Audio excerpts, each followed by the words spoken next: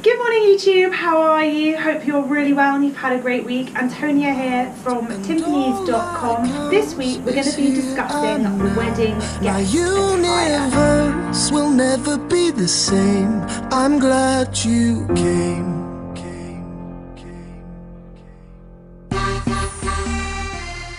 We've had loads of occasion wear coming in and I thought that I might just do a really quick video on the do's and don'ts of what to wear when you're a wedding guest.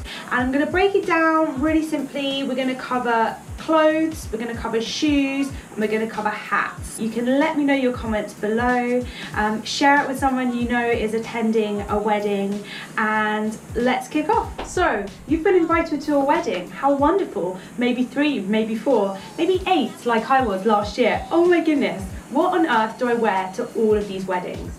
Right, let's first and foremost consider the clothes. Number one, what does it say on the invitation? I know that sounds basic, but let's have a look. What is the dress code? If it says white tie, black tie, formal, lounge suits, all these different options, I would say first and foremost go to debrett's.com. They have a really good breakdown of what you should wear for each individual dress code. So once you've had a little look at the dress code and you know exactly what it entails, the next thing I would say is really make an effort within that dress code. It really does show utmost respect when you adhere to the code and you also really do make an effort. I would suggest if you're going to a wedding that you dress appropriately. So for example, you might well be in a church, so do make sure that your shoulders are covered, that you don't have too much of a strappy dress, not too much bosom on show, that you wouldn't have too much of your back revealed, that the dress is an appropriate length. I would suggest knee length, or actually, do you know what? Midi styles at the moment are so beautiful. Why not opt for a midi style?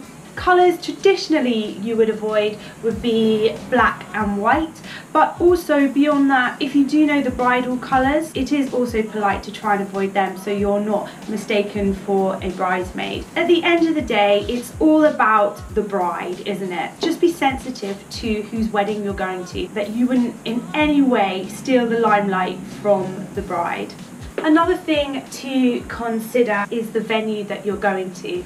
If you're going to be in a marquee, perhaps it might not be the warmest as the sun goes down. So do make sure that you've got a really elegant coat or little jacket just to keep you warm right through to the end of the day. I did also want to mention that I've seen a lot of ladies in trouser suits at weddings recently and I just think it is a really elegant look. So if you're not that comfortable in a dress, I would always say maybe go and look for a beautiful and elegant trouser suit, whether it be um, cigarette pants or palazzo, both are equally stunning.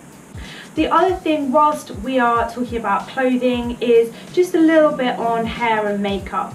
I would err on the side of a more natural look but I would also say if you don't tend to wear that much makeup but it is nice just to put on a little bit. It just finishes the outfit really beautifully. So do make sure that you've got your nails beautifully done, your hair is done, and so is your makeup. And don't forget just to take a few bits in your bag in case it does need topping up throughout the day because um, I have had those moments when I niche the toilet, I look in the mirror and I'm thinking, oh my goodness, you know, this is not how I remembered looking when I left the house. One thing that I did invest in after that said moment was a setting spray. Um, I'll flash it up here, but essentially it just sets your makeup all day and um, it means that you just really need to take a few little bits in your bag just to keep things looking fresh. So we've had a little discussion about clothes, let's talk about hats. I'm sure you guys know by now, but we are based in Berkshire. We're literally a stone's throw from Royal Ascot, so around here we do go a little bit crazy about hats but I would suggest that at a wedding you wouldn't necessarily want to be going for the Royal Ascot look. The crazy kind of everything goes style of chapeau. No, you want to be keeping it a little bit traditional a little bit understated. Um, you could even opt for a fascinator or even just a headpiece. I would tend to err towards just popping a little bit of something um, on your head, in your hair, just to finish off the outfit. It's by no means mandatory, but it really does just finish off and polish your look. So with regards to hats, there are a few rules. As I say, probably don't go for something too large and too ostentatious simply because there will be photos and you may well block out someone that's rather important to the wedding party or for instance you actually might not even be caught because the rim of your hat is so large you're not picked out in photos. Something else that you might want to consider is ladies in church you leave your hats on and gentlemen you take your hats off. Later on in the day at the wedding reception you always look to the mother of the bride to dictate when it is is appropriate to take off your headpiece. So as soon as she takes off hers at the reception, that signals to everyone else at the wedding party it's your opportunity to then take off your headpieces too. Um, the final thing that I want to just sort of say a little something about on hats is that traditionally the earlier in the day that a wedding starts the larger the hat you can get away with wearing and as it moves more and more towards an evening event the smaller those little pieces will become. So I guess that sort of summarises my thoughts on hats Finally guys, let's talk about footwear. Footwear is really crucial at a wedding. So my first rule of thumb is no new shoes and you'll more than likely have something new in your outfit if not an entirely new outfit. But I would suggest that you definitely wear in your shoes before the big day. Now with regards to the type of footwear to wear, you want to be thinking stylish but also comfortable. So don't necessarily go for the highest pair of heels, the thinnest stiletto you also want to really pay attention to where the reception venue is. If it's on grass, you may even want to consider wearing a wedge. Or failing that, invest in some of these heel protectors that work a dream.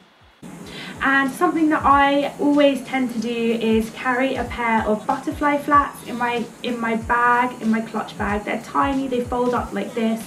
And then at the end of the night, um, to kind of save the embarrassment of hobbling around or really kind of going for it on the dance floor and perhaps it not ending so well, you can just slip on a beautiful pair of flats, something that really matches and tones in with the outfit that you've chosen to wear, and you can finish your night on a chic peak. Guys, thank you so much for watching this week. If you have anything to add, if you think I've missed anything, drop it down below. Um, if you want to say anything else, if you're looking for anything for a wedding, let me know. In the meantime, have a wonderful and safe week. Take care, guys is here and now. My universe will never be the same. I'm glad you came.